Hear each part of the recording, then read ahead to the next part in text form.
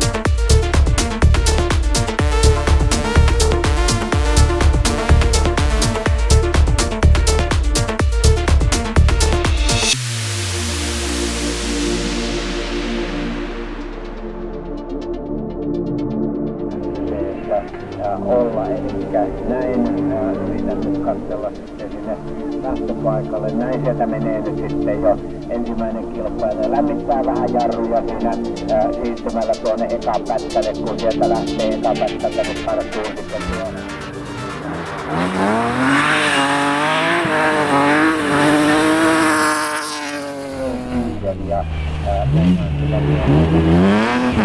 Uh.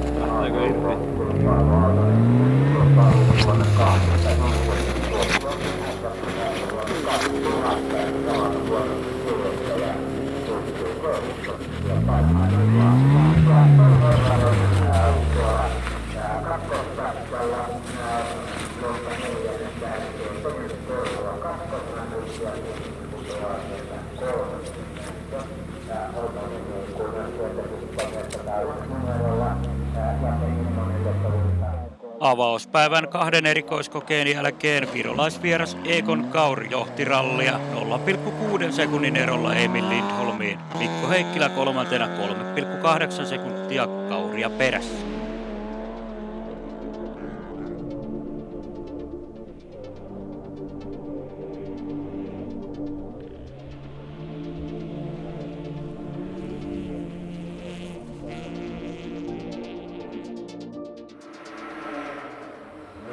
Rallin toinen päivä ajettiinkin sitten hienossa auringonpaisteessa.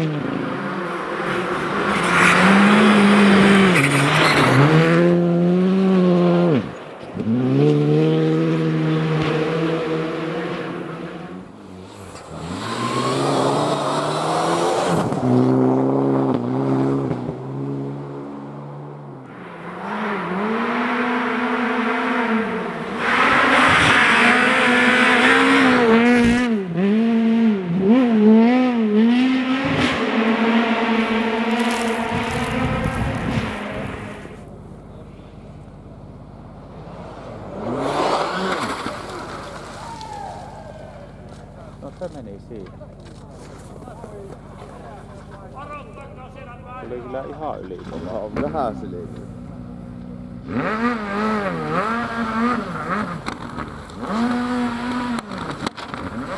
Ei se kyllä enää voi kunnossa käydä näin.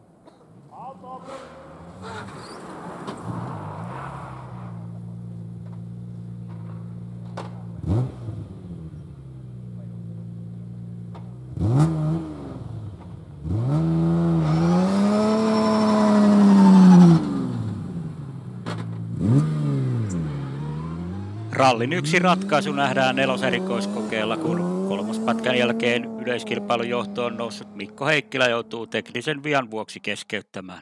Ahdas, viisi, vasen eri yli, kolme, nyppy oikee, tiukka, neljä, huomio, nyppy kolme, vasen ja nyppy kaksi, Mitä nyt tapahtuu? nyppy vasen miinus, Loppuveto. No. Mitä nyt tapahtuu? Heikkilän keskeytettyä rallin johtoon nousi Egon Kaur muutaman sekunnin erolla Emil Lindholmiin.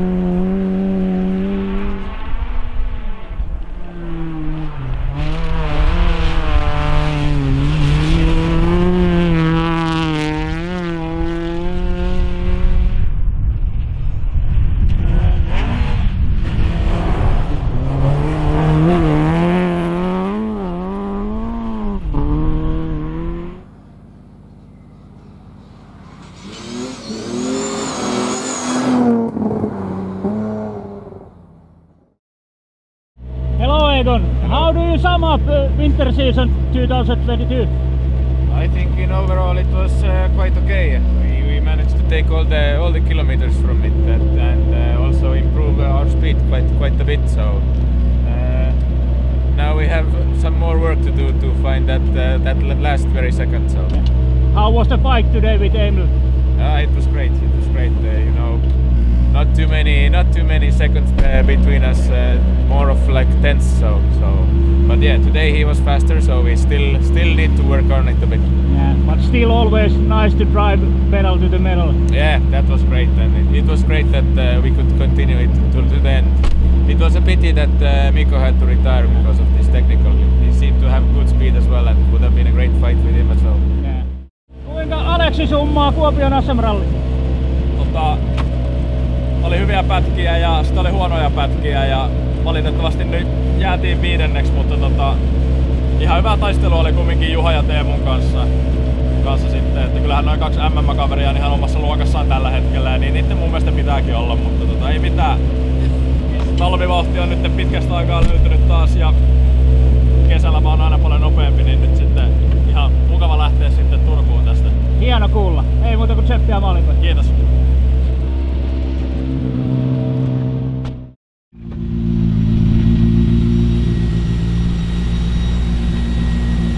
Mitäkäs Teemu summaa Kuopion SM-ralli? No ei ollut ihan semmonen, no neljäs nyt kuitenkin, mutta jotain pisteitä, mutta tuota, ei lähtenyt oikein koko, koko viikonloppuna niin kuin silleen. Mä tiedän, ison tien ajaminen oli huonoa, että siitä, siitä kasvoi sitten sellainen epävarmuus ja täällä kun on vasta iso ja nopeeta. Mä tiedän, täytyy tutkia, että mikä siinä on se, mikä se on se syy, syy mutta tota, ei ollut, ei ollut mun, mun viikonloppuna. No tästä katseet kesäkauteen. Joo, kesäkauteen sitten. Peli alkaa alusta silleen, silleen sitten Turussa, että tota, se on eri, eri lajisti kun mennään soralle, mutta tota, joo, jotain on tehtävä joka tapauksessa. Että läksyt, läksyt pitää olla niinku tehty noin toukokuussa. No niin, jees, kiitos.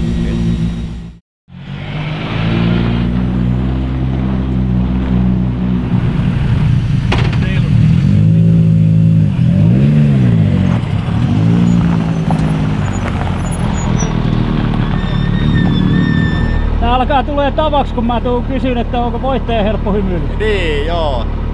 Kyllä se yhtä helppoa on kuin Rovaniemellä, ei voi muuta sanoa. Että tota, oli kyllä hyvää kisaa Joonan kanssa ja tota, saatiin vähän puristettua loppuun, niin äärimmäisen hieno ja kova tulos. Joutuiko Ville siellä vähän äh, jumppaa tuokiolle tuolla ysipätkällä? No ei meidän tarvinnut jumpata, kyllä siihen tuli katsojia sitten niin paljon, että se sai, sai Jaako auton siitä sivuun, mutta tota, se ratkesi tällä kertaa, en mä, eikä mä nyt yhtään ihmettele, että ainakin niin kuin rehellisesti sanottuna tämä päivä on me, meidän autokunta tullut niin paljon kuin vaan on niin kuin ikinä päästy. Et kyllä se virhe, virheen mahdollisuus ihan meille vaan la- Lavion porukalle tai meille, niin, niin, niin olisi mahdollista ollut. Mutta tietenkin totta kai omasta puolesta on hirveän tyyty, tyytyväinen ja onnellinen siitä, että saatiin täydet pisteet. Ja tuossa en ole vielä kattonut tuo SM5-luokan tuloksia, että kuinka pensaa Jere siellä, että saadaanko tiimillekin täydet pisteet vielä, vielä sitten. Että ihan hyvä johto oli ennen viimeistä pätkää Jerellä, mutta tota, Kyllä. ei mitään, loppu hyvin, kaikki hyvin. Että totta kai ja, Jaako ja Pasin puolesta on pahoillani, mutta tuota, se on ralli, välillä, välillä sattuu tämmöistä.